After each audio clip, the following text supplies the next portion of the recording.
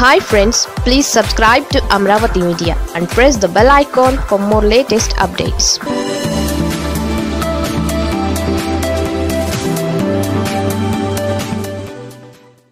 కొత్త స్లోగన్ టీడీపీకి రివర్స్ కొడుతోందా? ఎన్నికలను ఎదుర్కొనే రాజకీయ పార్టీలు ఒక్కో ఎన్నికకు ఒక్కో స్లోగన్ను జనాల్లో పాపులర్ చేస్తాయి.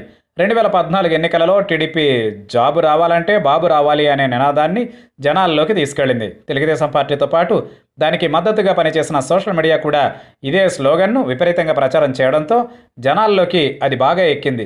అలాంటి స్లోగన్నే మళ్ళీ టీడీపీ జనాల్లోకి తీసుకుని వెళుతోంది. ఇంతకీ కొత్త స్లోగన్ ఏంటంటే మళ్ళీ నువ్వే రావాలి. ఇక వైసీపీ విషయానికి వస్తే రెండు వేల పద్నాలుగు ఎన్నికలలో వైసీపీ కేవలం దివంగత ముఖ్యమంత్రి వైఎస్ఆర్ పరిపాలన అన్న దానిని మాత్రమే ప్రచారం చేసింది. అయితే వివిధ కారణాల వల్ల ఆ ప్రచారం జనాల్లోకి అంతగా ఎక్కలేదు. కారణం ఏదైనా జగన్మోహన్ రెడ్డి అయితే అధికారంలోకి రాలేకపోయారు. ఇక రెండు వేల పంతొమ్మిది ఎన్నికల విషయానికి వస్తే తెలుగుదేశం పార్టీ మీ భవిష్యత్తు నా బాధ్యత అని చెప్పినా జనాలు పట్టించుకోలేదు. ఎందుకంటే అప్పటికే చంద్రబాబు నాయుడు పాలన ఎలాగుందో జనాలు చూశారు కాబట్టి. ఇదే సమయంలో వైసీపీ రెండు స్లోగన్లతో జనాల్లోకి వెళ్ళింది. మొదటిదేమో అన్నొస్తున్నాడు అని రెండో స్లోగన్ ఏమో బాయ్ బాయ్ బాబు అని.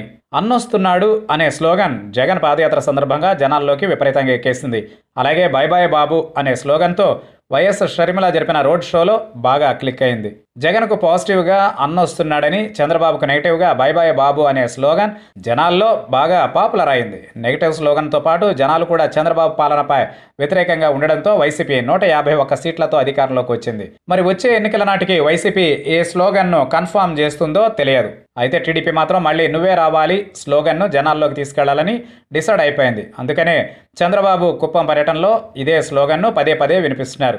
అంటే ఇదే స్లోగన్తో వచ్చే ఎన్నికలకు వెళ్ళబోతోందని అర్థమైపోతోంది. అయితే ఇక్కడ సమస్య ఉంది. అదేమిటంటే మళ్ళీ నువ్వే రావాలి అంటే జగన్ను ఉద్దేశించి చెబుతున్నారా అని జనాలు కన్ఫ్యూజ్ అయ్యే అవకాశం ఉంది.